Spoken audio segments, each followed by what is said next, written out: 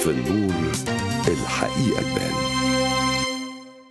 أحد التوصيات بيقول إن وزارة الأوقاف مع مع الأزهر يقوموا مع البرلمان بسن تشريعات عشان نقنع الناس ب- بموضوع النمو السكاني أو ال- يعني معدل المواليد. لا إحنا بدأنا الموضوع في مصر وعشان كده إحنا قاعدين النهارده وبنقول آه، بعد خمس سنين بفضل الله سبحانه وتعالى وبفضل شعب مصر وتضحياته إحنا في موقف ووضع تاني خالص. وده كلام مش بقوله عشان أنا في موقعي ده. لا لا.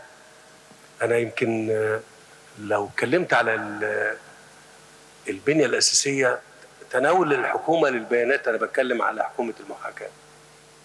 أنت بتتكلم على كم كيلو طرق؟ انت بتتكلم على ألف ولا ألفين ولا ثلاثة ولا سبعة ولا ثمانية لا البيانات دي أرجو إن إحنا كحكومة حقيقية مرة تانية. المع- المعني بالطرق في مصر على سبيل المثال هي الإسكان والنقل والقوات المسلحة. فإحنا بنتكلم خطتنا 8000 كيلو. 8000 كيلو مش طريق حارة واحدة. 8000 كيلو طرق آه، نقدر نقول متوسطاتها من ثلاثة لستة حارة في كل اتجاه في كل اتجاه يعني قد إيه؟ يعني إحنا بنتكلم لو قلنا المتوسط آه، خمسة حارة على سبيل المثال أنت بتتكلم في 40 ألف كيلو بكام؟ عشان فقط نعمل إجراءات لتحسين وتطوير بنية الطرق في مصر انت بتتكلم في أكتر من 160 مليار جنيه. اتكلموا عن الكهرباء. الكهرباء اللي إحنا بنتكلم عليها ديت انت كنت فاضع آه، ما عندكش ودلوقتي انت بتقول عندي احتياطي زيادة. الدكتور شاكر يصلح لي إذا كنت أنا بقول البيان غلط فوق ال 20% بعد ال ال يعني التحميل الأقصى لينا. 20% فوق يعني ممكن آه، يروح لدول الجوار في آه، ربط كهربائي معاهم مع السودان مع ليبيا مع السعودية مع الأردن مع قبرص. فأنا اللي أنا عايز أقوله هنا ما تنسوش ما تنسوش إحنا كنا فين. إحنا كنا في وضع تاني خالص. إحنا كنا دولة على وشك الانهيار ووشك الضياع والشعب كان فاقد الأمل والثقة في مستقبل أفضل وكان لابد من إعادة بناء الانطباع لدى المصريين والثقة في أنفسهم في إن هم قادرين على يعني تحقيق غد أفضل. فالخطة اللي اتعملت عشان بس لا.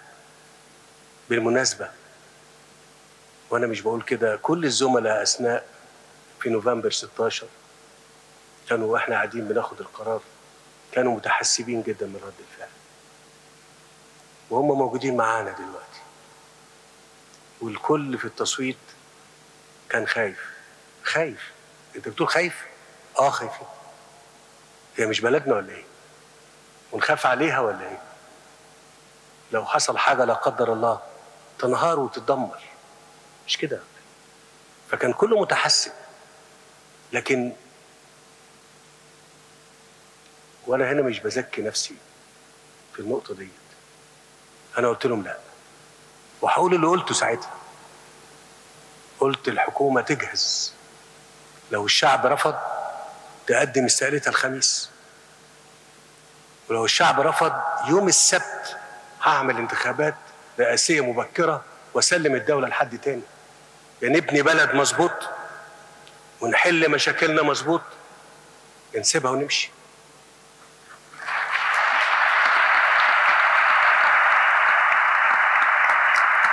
أنا بقول لكم الكلام ده يعني يمكن ما كانش مناسب إن أنا أقوله لكن الزملاء في في المجلس وإحنا بناخد المجموعة آه، كلهم قالوا لا.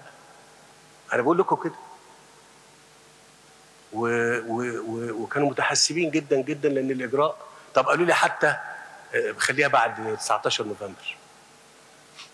خلوها بعد 19 نوفمبر. لو تفتكروا يعني. قلت لا. قبل 19 نوفمبر إحنا هنعمل الموضوع. بس ده مش ثقة في نفسي. ده ثقة فيكم أنتوا. ثقة في الوعي وفي إرادة التغيير اللي موجودة في شعب مصر واللي هو السحب. وعشان كده لما بقول مثلا آه، أنا ما علقتش خالص على اللي أنتوا قلتوه. لكن لما بقول إن أنتم آه، عرفان آه، أنا يعني شديد العرفان بجملكم لأن في النهاية أنا لما كنت بقابل أي بزور أي أطلع أي دولة وأزورها رد فعلكم على الإصلاح الاقتصادي كان محل تقدير واحترام شديد ليا. اللي هو إن يشوفوا المصريين كل الإجراءات اللي هو البلد عاملاها فيهم والناس ساكتة مستحملة. فكان ده شرف ليا. كان شرف ليا. تحملكم شرف.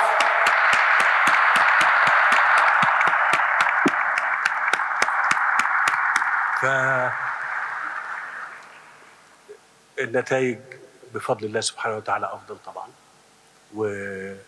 وده كان آه، أملي في الله سبحانه وتعالى إن هو آه، مش ممكن ابدا الإخلاص وال... والعمل والعلم في تناول المسائل لأن آه، يعني لابد أن تكلل بالنجاح. كل وزير وكل وزارة بذلت أقصى جهد في في, الوقت ده وحتى الآن عشان يعني يعني حتى تقلل من الأعباء على على الناس. يعني وزارة التضامن كانت حاطة في تخطيطها إن إحنا خلال سنتين ثلاثة إذا كنت أنا فاكر الرقم نصل لمستهدف معين. لاجل الخطة ديت قالت لي أنا آه، لازم لازم أخلص المستهدف في سنة. وهي الدكتورة غاده صلحت وفعلا دخلنا إن إحنا نتكلم في ملايين من الأسر المصرية نستهدفها بإن إحنا نديلها آه، يعني آه، عائد آه، أو مبلغ مش كبير صحيح لكن زي ما قلت دايما كده كان محاولة مننا إن إحنا يعني يعني نطبطب على أهلنا. في النور الحقيقة تبان